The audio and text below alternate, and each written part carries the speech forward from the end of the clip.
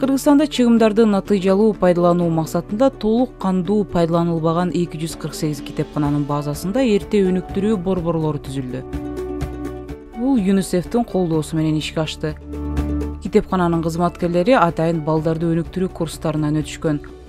Ошондой эле борборлор юнисеф жана билим берүү министрлигинин сунуштамасы боюнча балдарга керектүү методикалык колдонмолор атайын адабияттар менен камсыздалды мындан башка өлкөдө балдарды бала бакчаларга тартуу боюнча энелер мектеби иштеп жатат.